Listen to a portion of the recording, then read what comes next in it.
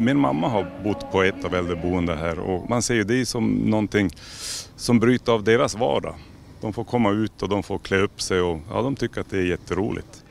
Ja, nu parkeras rullatorer och rullstolar på parkeringen för här ska det åkas finbilar. Där ett tiotal bilar inklusive Mos stod till förfogande den här dagen då eventet faktiskt firar tioårsjubileum. Ja, det är tioårsjubileum nu i år och eh, det har ju blivit som en tradition det här. Det är mycket uppskattat evenemang det här. Det är alltid kul att kunna sprida lite glädje bland våra gamla gamlingar. Hur startade det här från början då? Det är ju Lasse Brännström som eh, kom med den här idén och eh, vi träffades faktiskt i, på badhuset här i Hörnefors en gång i tiden här och, och då kom den här idén fram och sen har vi spunnit vidare på det här. Och det här är ju ett eh, fantastiskt eh, glädje för de som bor här att få komma ut. Och, eh, Henrik är ju också hörneforsare så de får ju åka förbi de här gamla klassiska eh, knutpunkterna här i Hörnefors som Bråvallahallen där bröderna Nordahl eh, har spelat fotboll och eh, nere på Hamskär där de flesta har jobbat faktiskt på fabriken där.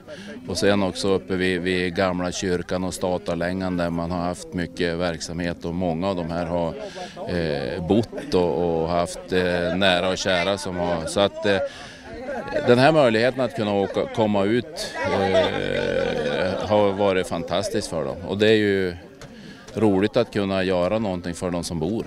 Att det, det händer någonting mer än att man eh, vaknar och, och, ska somna utan att det finns en, en, en, agenda. Och det här är ju fantastiskt med när det är så fint väder också. Vad är det för kriterier för de som kör bilarna här då? Ja, det är egentligen att vi har ett intresse och glädja en gammal människa och, och även att vi har en, en bil som fungerar och startar och går i alla väder. De åker från Solgården och idag har vi ju strålande sol. Har ni haft sån tur tidigare år också? Mest alla gånger så har det varit bra väder.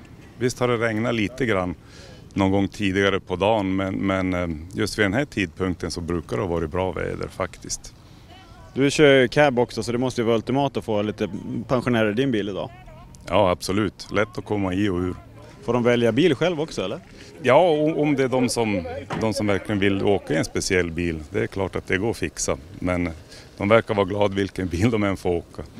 Rolf, du får åka den häftigaste bilen du. Så. Ja, det blev Roffe som fick åka rostfritt med mig i tidsmaskinen. En bil som han faktiskt inte kände till. Vad är det för bil? En DeLorean. DMC 12 heter den. Rostfri.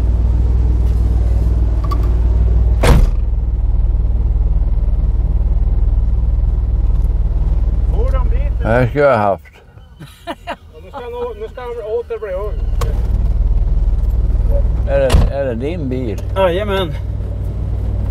Det är min bil. 28 år fick jag vänta på att jag hade råd att köpa den här.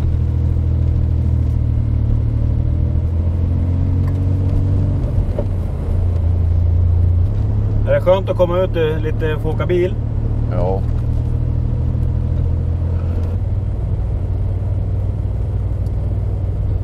En sån här bil har jag aldrig åkt. Nej du, det är det nog inte så många som har gjort faktiskt. Du kan känna dig lycklig idag. Finväder dessutom.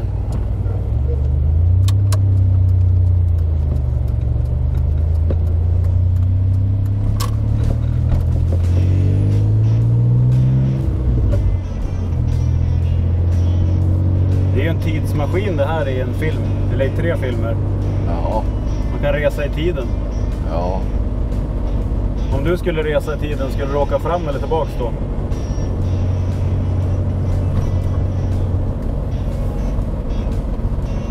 Vad tror du? Fram. Inte tillbaks?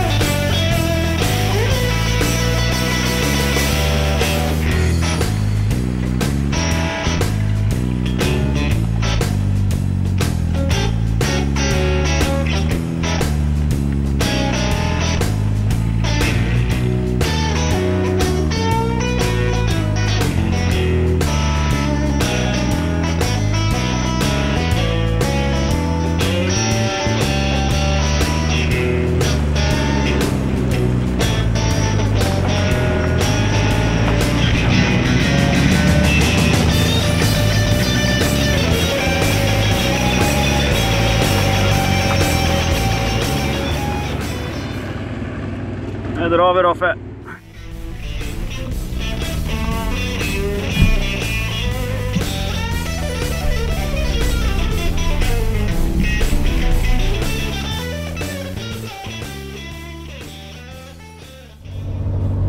Vad hade du för första bil när du var ung då? Det var en Volvo.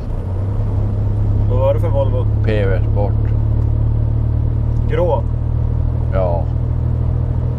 Ja, Årsmodell? jag minns inte vad det var. Hade du moped då? En moped har jag aldrig haft. Har du aldrig haft en moped? Nej.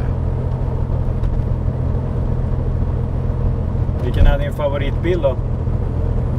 Ja, det kan jag inte svara på. Det finns många. Det finns många. Ja, en amerikanare. Ja, fast den byggdes på Nordirland.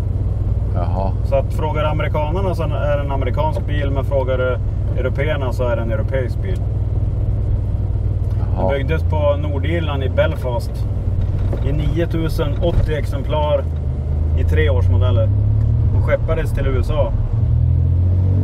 Och vet att till och med två stycken bilar byggde de i 24 karats guld också. Då pläterar de det här rostfria stålet som är på panelerna. Oj då. Mm. Äger du den här bilen? Ja. Vad sitter, vad sitter det för motor i? den? Sitter en eh, PRV V6 på 2,9 liter. De tänkte sätta in V8 men det var någon oljekris där i början på 70-talet och då fick de backa och göra 6 istället.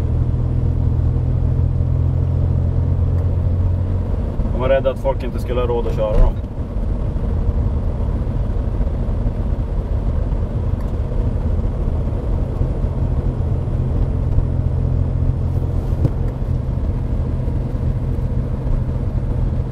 Någon du kände eller? Ja. Var det någon du kände?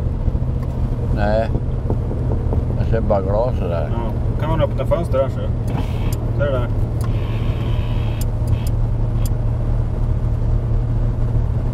Det är lite jobbigt fönster bara på drive-in för du får inte in drickan där. Då häller man den utanför. Så att man får ta den i, Man får öppna dörrarna bara. Det här det levde de ju nästan hela året på det här. Det var en succé helt enkelt. Tack, tack. Tack, tack. Det är ju synd att det inte går egentligen att göra någonting sånt här i Umeå också. Det hade ju varit väldigt uppskattat där också. Varför skulle inte det gå menar du?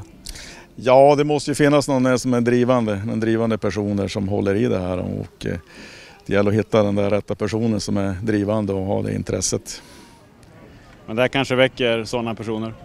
Ja, det hade ju varit faktiskt en jättekul idé om det hade, eller om det sparar någon annan att ta över det här. Men här ute kommer ni köra på vidare i alla fall. Ja, vi kommer köra på vidare här och det är väldigt eh, synd att inte Hörneforsdagen finns längre och även fordonsutställningen är nedlagd. Men eh, det här är så uppskattat evenemang så vi kommer köra det här vidare. Ja, hör ni det alla eldsjälar där ute i vårt avlånga land? Styr upp fler sådana här event för de äldre för att bryta deras vanliga vardag.